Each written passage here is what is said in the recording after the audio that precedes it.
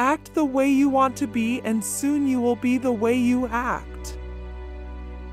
Everything that happens to you is a reflection of what you believe about yourself. We cannot outperform our level of self esteem. We cannot draw to ourselves more than we think we are worth. When you have something to do, life will not allow you to move forward until you do it.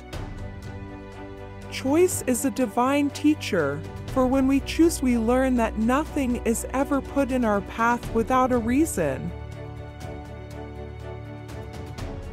Remain open. There is something bigger than you know going on here. You have set standards for how you want to be treated and what you expect from yourself and for yourself. Every day is your day if you claim it. If you wait for somebody else to make it for you, you're going to be disappointed. All things are lessons God would have you learn, and the best students get the hardest tests.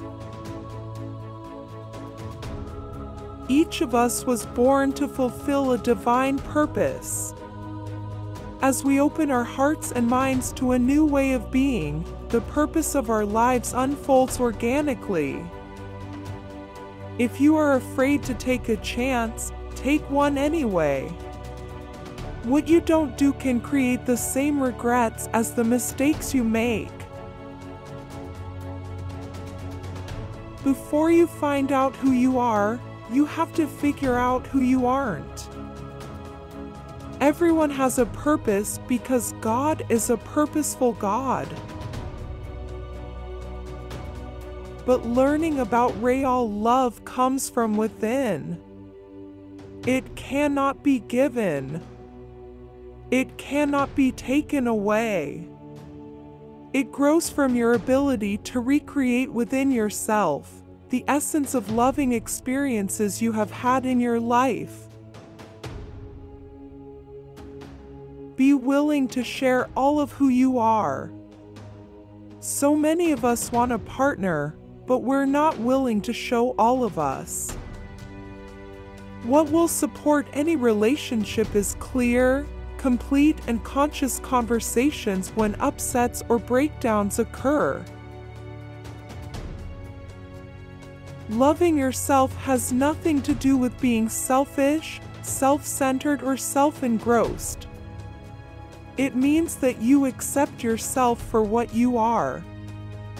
Loving yourself means that you accept responsibility for your own development, growth, and happiness. So many of us invest a fortune making ourselves look good to the world, yet inside we are falling apart. It's time to invest on the inside. Release and detach from every person, every circumstance, every condition, and every situation that no longer serves a divine purpose in your life. All things have a season, and all seasons must come to an end. Choose a new season filled with purposeful thoughts and activities. We love in others what we love in ourselves. We despise in others what we cannot see in ourselves. You cannot experience the fullness of your authentic self or life when you live to avoid hurt. You will never know the joy of love or the peaceful satisfaction of being loved if you hide from hurt.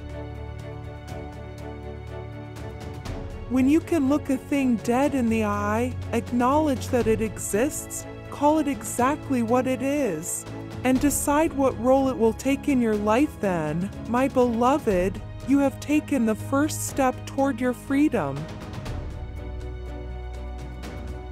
You do not have to love what is going on in your life, but you must accept that it, whatever it is, is going on.